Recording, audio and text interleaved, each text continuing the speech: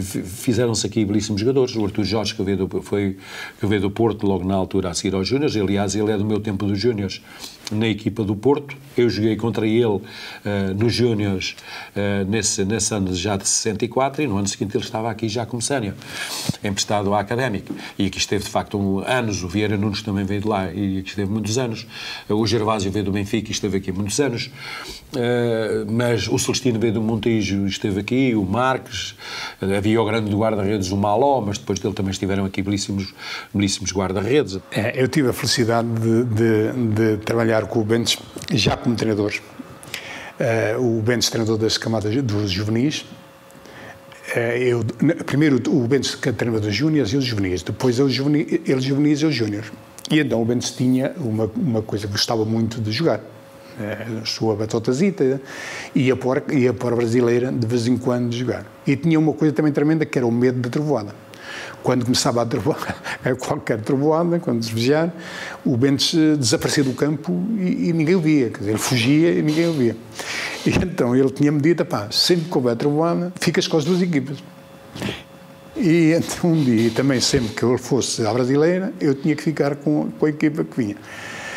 Mas era uma lição de vida. O Bentes era em tudo uma lição uh, genuína do que é ser académico. Porque o Bentes não dizia da boca para fora que era académico. O Bentes respirava académica. Pessoa excepcional, calma, serena, uh, séria. Uh, como jogador, era, era um portento, quer dizer, era, era muito eficaz. Era uma pessoa que uh, não dava assim muito nas vistas, mas tecnicamente era muito bom. Uh, há um jogador que foi parecido, era do tipo do Bentes, o Simões do Benfica, era naquele género, não é? Uh, mas o Bentes era um extremo que metia muitos golos. E, e, e, e, nunca vi nenhum jogador a meter golos como o Bentes, porque uh, muitos golos deles não eram frontais. Ele estava sempre descaído sobre extremo, a extrema esquerda, não é? E ele conseguia meter a bola entre o guarda-redes e um dos postes.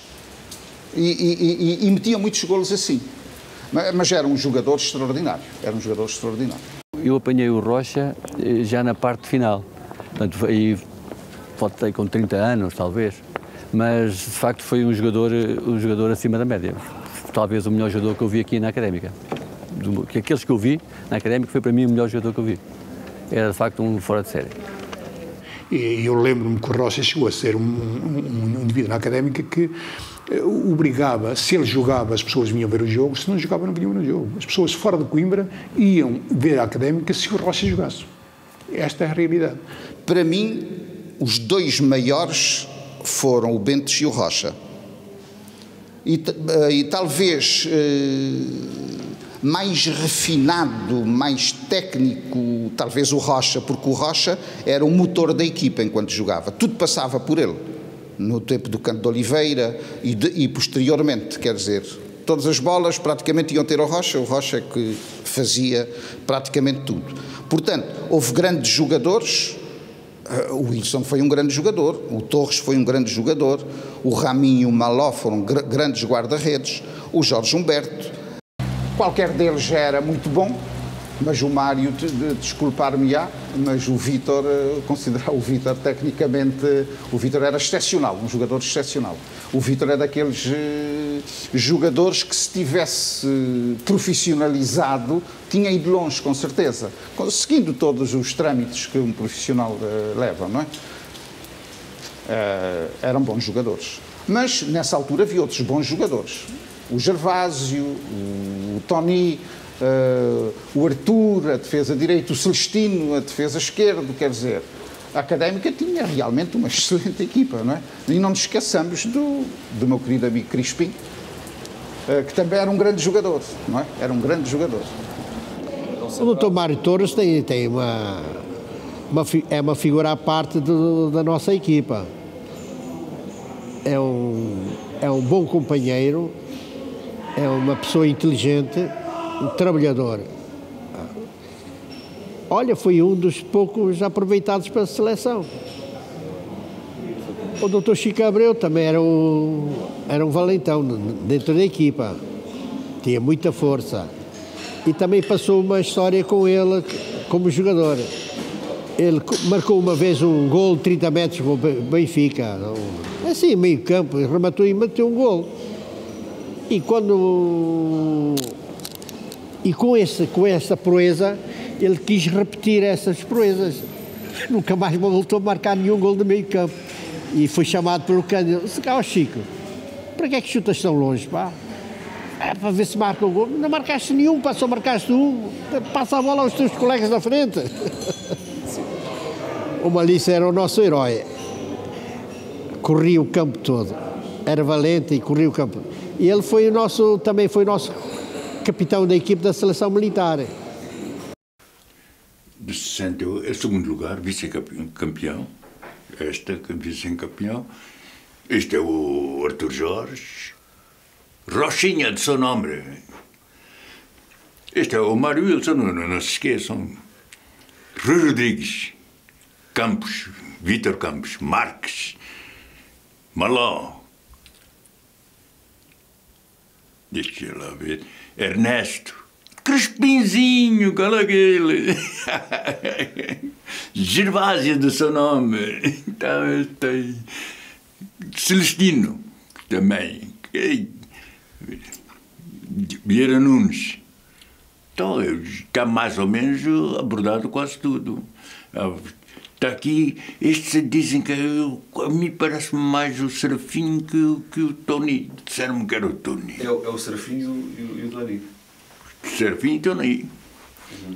Este é o Manuel António, passear, mas ali, ali é o, o nosso amigo Humberto. Jorge Humberto. Jorge Humberto. Marques. O Marques batia sempre. Gervásio ali, também metido. Era gente, gente boa. Aquilo é o Rami. Rami, daqueles Azaredo, olha, outro fulano que o André Bentes. Não podemos esquecer, este é um dos melhores jogadores que. Mário Torres. Gil. Isto é, estou a falar dos pré-históricos. Aparecem aqui uma série de elementos. E aqui é, os, é a tortulha dos, dos terríveis. Mário Wilson, a guerra com, com Pedroto esse treinador realmente de, de renome. Aqui são os períodos bons que aparecem. E aparece aqui com Matateu. Ali é com Matateu. Um dos pré-históricos fantásticos, goleador a nível do, de, quase do Eusébio. Há quem aprecie até em termos de área. Eusébio para o trânsito. O Eusébio deu-me uma balda, quer dizer, é o termo, entre aspas. É, eu fiz uma época boa. Eh, em 69 fiz uma época, industrialmente fiz uma época boa. Ele não fez, certamente, não, não jogou os jogos todos, houve ali, teve uma baixa bola, ele já vinha com cinco bolas de prata seguidas, quer dizer, aquilo também de vez em quando tem que fazer um intervalo. Portanto, ele resolveu fazer nesse ano e eu aproveitei. É mais ou menos isso. Não, acontece, quer dizer, o futebol tem coisas destas, não é? Ele fez uma época menos boa, eu fiz um, pronto, é, eu fiz, não, a académica fez, porque eu era, limitei-me a concretizar aquilo que todos nós trabalhávamos, que era tentativa de marcar o gol. Eh, e ele. Eh, eu, aliás, eu marquei mais golos em 1964 do que em 1969.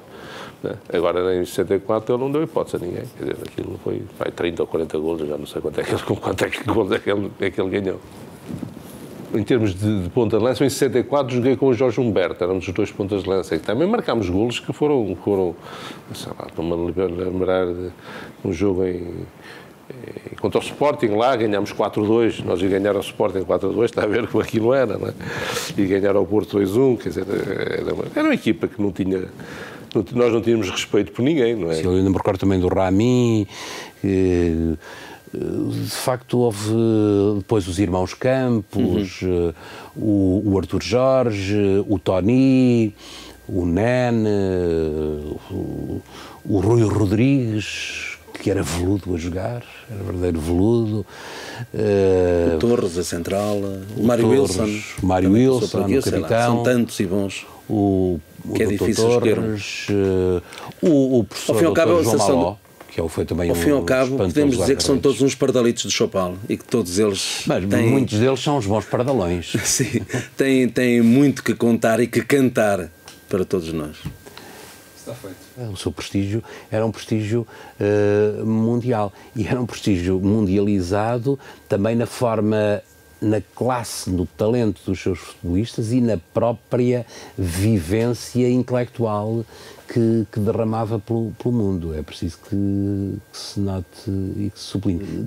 Destraço a capa em nome desse, dessa pleia de futebolistas que foram talentosos na forma de jogar, com uma técnica, com uma velocidade de execução eh, tão tão idêntica à própria velocidade de raciocínio, mas também à grande capacidade intelectual e de vanguarda política que indubitavelmente constituíram. A eles se deve um pouco o Portugal atual, que ainda tem muito para, para renovar e para encontrar o seu caminho ideal, mas eh, lá há sementes do futebol da Associação Académica de Coimbra. Ora bem, eu penso que este, que este documentário que, que estão a fazer uh, ficará, fica mais pobre por não poder contar com o depoimento do Gervásio. O Gervásio viveu todos estes grandes acontecimentos da académica intensamente. Como jogador de futebol, como já foi dito, uh, começou no Benfica, veio para a académica com 18 anos e jogou até aos 35 anos. Esteve nos grandes momentos da Associação Académica de Coimbra como jogador o, tal segundo lugar, em 68, as duas finais da taça, nas competições europeias, ele esteve sempre presente e muitas delas como capitão de equipa. Foi sempre um exemplo para todos nós. Eu, quando vim para Coimbra, era uma das minhas referências. Seria, era o Gervásio, era o Vítor Campos, eram as minhas referências quando eu vim miúdo para a Associação Académica de Coimbra. Uh, o Gervásio, além disso, uh, foi também treinador da Académica, durante uh, várias vezes, subiu de divisão com a Associação Académica de Coimbra, foi diretor várias vezes também uh, e, ultimamente, era vice-presidente da, da direção. Deixou de ser neste último, neste último mandato. Portanto, se alguém tem a história da, da académica, é o Gervásio. Portanto, o depoimento dele seria extremamente importante aqui.